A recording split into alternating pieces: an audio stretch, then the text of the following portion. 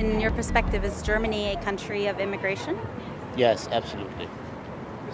Can yeah, I you mean, I look at the Huguenots, look at all the people who always came to Germany, uh, passed through Germany, influenced Germany.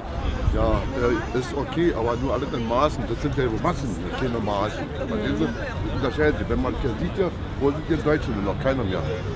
Wir sind die eigenen Au- Ausländer, unser eigenes Land hier. Ja, das funktioniert nicht. We are in the center of Europe and people are commuting through, staying here, influencing the country.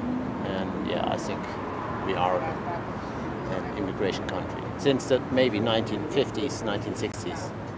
Deutschland macht wirklich sehr, sehr viel für die Migranten und für die Flüchtlinge. Macht das, was kann und auch ein bisschen mehr, was vielleicht auch nicht kann. Ja. Klar ist es ein Integrationsland. Die können ja auch alle herkommen. Nicht? Die Merkel hat ja alle eingeladen und sollen sie kommen und dann sind sie auch alle da. Das ist ja verrückt, was alles hier ist. Die halbe Welt rennt ja hier rum.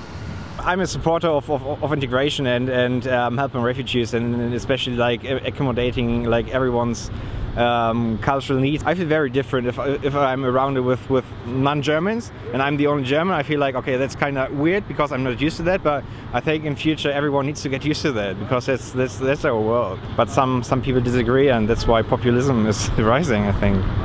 It's normal uh, human behavior. If, if there's coming in a short time a lot of change, people are a little bit, um, I'm not sure about this.